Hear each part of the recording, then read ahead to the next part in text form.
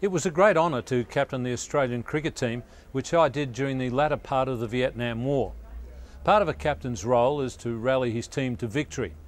Of course, the challenge of a game of cricket pales in comparison to the fight many of our diggers are facing inside themselves the battle with post traumatic stress disorder, or PTSD.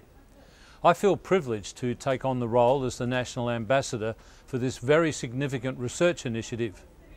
As a society, we're slowly coming to recognise the significance of this illness that has been around since trauma began. But there's much more we need to know about its causes and consequences. The research to be completed by the doctors and scientists at the Gallipoli Medical Research Foundation in Brisbane is a world first. Never before have researchers significantly delved into the genetics of PTSD and looked at the long-term impact of this illness. Now we need to help them by banding together to support the PTSD initiative. The researchers need 300 Vietnam veterans to participate in the first project. It doesn't matter if you have PTSD and your mate doesn't, or vice versa. We need you both.